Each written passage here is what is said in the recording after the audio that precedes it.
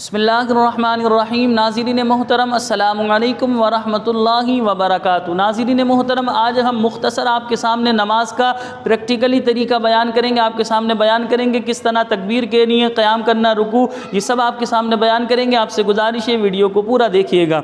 देखिए, हम फ़िक़ हनफ़ी के मुताबिक बता रहे पहली बात ये समझ लें और मर्दों का तरीका बता रहे तकबीर तहरीमा देख के किस तरह के लिए हाथों को इस तरह हमने उठाना है। उंगलियाँ नॉर्मल हालत में रखनी है और उंगलियों का जो रुख है वो किबले की तरफ़ होगा। ना इसको ज़्यादा खोलना है, ना ज़्यादा बंद कर लेना। नॉर्मल हालत में रखना है और दोनों अंगूठों को जैसे कानों के ऊपर तक रख लें या कानों की जो कानों की लो है, इस पर जो है छू जाए। या इससे नीचे भी है तो कोई मसला नहीं, बस इसको उठाना के बारे में बयान किया गया। तो लिहाजा इस तरह जो है आपने तकबीर तहरीमा के लिए तकबीर तहरीमा के लेने के बाद आपने उल्टा हाथ जैसे नाफ पर या नाफ के नीचे आप रख लें, सीधे हाथ, ये छोटी उंगली और अंगूठे से जैसे आपने इस तरह कलाई को पकड़ेंगे, ये तीन उंगलियाँ ऐसे ऐसे आएँगी। ये क़याम का तरीका है फ़ोकाई कराम ने इरशाद फरमाया। अच्छा क़याम में बाद लोग सामने देखते हैं, बाद लोग दाएँ बाएँ देखते हैं, ये मना है। आप क़याम में आपकी नज़रें जो है, या तो आप अपने सीने पर रख लें, या आप सजदे की जगह, यानी आप अपनी निगाहों को नीचा रखेंगे। तो तकबीर तहरीमा का तरीका हमने आपके सामने बयान किया, फिर यह क़्याम का तरीका बयान किया, इस तरह आपने क़्याम करना है। सही? अब हम रुकू का तरीका आपके सामने बयान करें रुकू इस तरह करना है, देखिए अच्छा ये बात भी याद रखें, दोनों पैरों के दरमियान या तो चार उंगल का फासला रखेंगे या एक बालिश। ना एक बालिश से ज़्यादा करें, ना चार उंगल से कम करें। अच्छा रुकू में जो है, आप सीधे हाथ से सीधा घुटना पकड़ेंगे, उल्टे हाथ से उल्टा घुटना पकड़ेंगे। सही? और उंगलियों को कुशादा रखेंगे और यहाँ पढ़ेंगे सुबहान रबी अज़ीम सुबहान रबी अज़ीम। तीन बार पढ़ लें या पाँच बार पढ़ लें? इस तरह आपने रुकू करना है। कि आप सीधे हाथ से आपने अपना सीधा घुटना पकड़ा हुआ, उल्टे हाथ से उल्टा घुटना? सुबहान रबी अज़ीम सुबहान रबी अज़ीम सुबहान रबी अज़ीम। अच्छा इसमें आपने कमर को सीधा रखना, जैसे बाद लोग यूँ करते हैं बस। बाद लोग यूँ ही करते हैं। तो मुख्तलिफ़ लोगों के अंदाजे बाद लोग हाथों को इस तरह ही टेढ़ा कर लेते हैं, इस तरह रुकू कर रहे होते हैं, ऐसे नहीं। आपने इस तरह करना है कि आपकी कमर सीधी रहे और दोनों हाथ देखें सीधे बिल्कुल। और सीधे हाथ से सीधा घुटना पकड़ा हुआ उल्टे हाथ से उल्टा घुटना। ये तरीक़ेकार है। फिर इसके बाद कौमा करेंगे कौमे में इस तरह खड़े होंगे अच्छा बाद लोग कौमे में क्या करते हैं? दोनों हाथ से कप, अपने कपड़े सही कर रहे होते हैं ये गलत तरीका है। आपने इस तरह कौमे में खड़ा होना है। समी अल्लाहमन हमीदा अब यहाँ पढ़ लें रबना वलकल हम या रबना वलकल हम दोनों तरीके दुरुस्त है। या तीसरा अल्लाह रबना वलकल हम ये भी तरीका दुरुस्त है।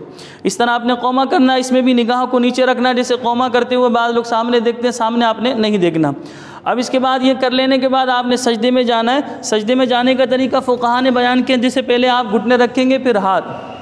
फिर उसके बाद जो है अपनी नाक और पेशानी का मामला है तो लिहाजा देखें इस तरह, जैसे पहले घुटने रखें, फिर हाथ रखें। अब जो है आपने इस तरह रखना है। सुबहान रबी अला सुबहान रबी अला सुबहान अच्छा इसमें इस बात का ख्याल करना है, सजदे के अंदर देखें, बाज़ लोग क्या करते हैं, अपनी कलाइयों को बिछा देते हैं। कलाइयाँ बिछाना, ये फ़ोकहा ने मना करार दिया कि कलाइयों को आप नहीं बिछाएँगे। इसी तरह दोनों हाथ ऐसे सामने रखे, उनका रुख भी जो है किबले की तरफ़ होगा।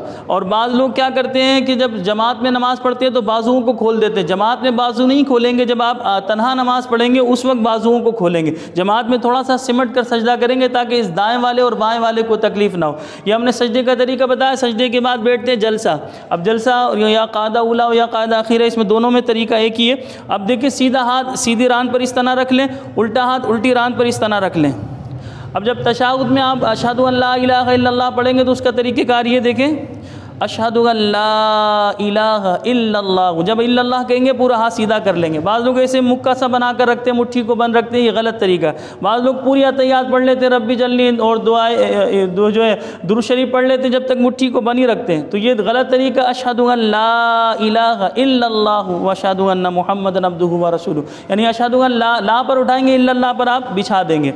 और आपने सीधा हाथ सीधे रान पर रखना, उल्टा हाथ, उल्टी रान पर। बाद लोग ऐसे हाथों को आगे निकाल देते हैं, ये गलत तरीका नॉर्मल रखना। बाद लोग बहुत पीछे कर लेते, पीछे भी नहीं करना। ऐसे, जहाँ से घुटने की इब्तदा, यहाँ से आप शुरू करेंगे, इस तरह रखेंगे। और निगाह मैंने आपको बार बार बता रहा हूँ, निगाह हमारी नीचे होगी, यानी यहाँ पर गोद में होगी या सजदे की जगह पर होगी। जैसे सामने हमने ऐसे नहीं देखना है, नीचे निगाह करनी है। जब हम जो है कादा उला में अतहियात पढ़ लेने के बाद अगर हमने तीसरी रकात में जाना तो तीसरी रकात की तरफ़ आ जाएँगे, कादा आखिरा तो अतहियात पढ़ के, दुरुद इब्राहिम पढ़ के रबी जलनी पढ़ कर सलाम फेरेंगे। सलाम का तरीका ये असलम वरहमतुल्लाह। अब इसमें उसमें क्या करते हैं? बाद लोग सलाम करते वो सामने ऐसे देख रहे होते यानी उनकी निगाह ऐसी होती कौन कौन आया? तो इस तरह नहीं करना है आपने ना। असलकम वरहमतुल्ला यानी निगाह जो है हमारे सीधे कंधे की तरफ़ होगी। जब उल्टी तरफ़ सलाम फेरेंगे असलकम वरहमतुल्ला तो उस वक्त हमारी निगाह उल्टे कंधे की तरफ़ होगी। ऐसे पब्लिक को नहीं देखना कि भाई कौन कौन आया, कौन नहीं आया। तो आपने निगाहों को थोड़ा सा हिफाजत करनी है। इन ज़िंदगी रही तो और भी इस हवाले से वीडियोज़ आप तक पहुँचाती, पहुँचाई जाती रहेंगी। कोई बात समझ में ना आई हो तो नीचे कमेंट्स में मालूम कर सकते हैं। मुझे अपनी दुआओं में याद रखिएगा। असल वरहमल वर्का